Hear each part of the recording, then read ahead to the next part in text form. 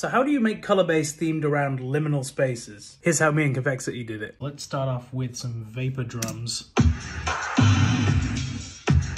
Now we need some of Convexity's creepy yet nostalgic jazzy chords. Wait for this last one. Mm, Here we have what I'm calling the Pool Rooms lead, which is based on, well, the kind of vibes of the pool rooms. We got this one. Both like hideously detuned. It kind of reminds me of, what's that thing at the end of VHS videos where it's like, dick. I'm now gonna check if it sounds anything like that. Oh, it is similar. Dick. Oh, I didn't realize it was this version. Let's put all that together. Ooh, it's the late 90s.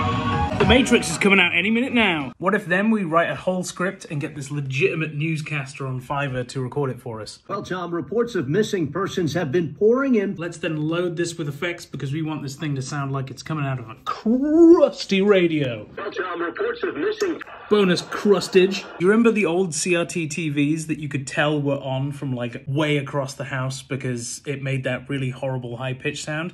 Yeah, let's get some of that in there.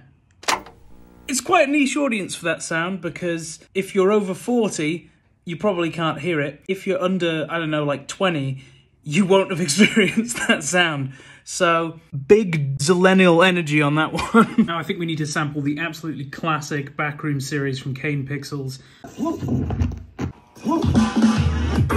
And for the second pre-drop, let's get the sound this creepy monster makes from the same video. Sounds like this. Now, I don't think any 90s old school commercial would be quite complete without a smooth saxophone.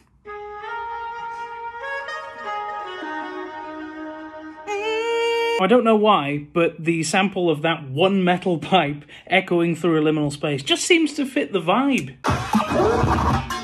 With this being a chime chiming convexity collab, it would not be complete without some of the stupidest snares you've ever heard in your goddamn life. We made two sample packs of these stupid snares for my Patreon, so we were making damn sure we were going to use them.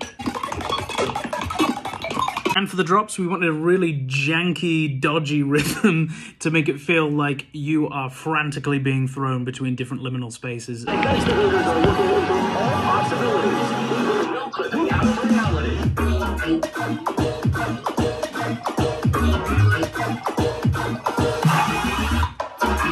Liminal with Convexity comes out at midnight tonight on Monstercat Uncaged, so go stream it or die in the back rooms from the mental torment.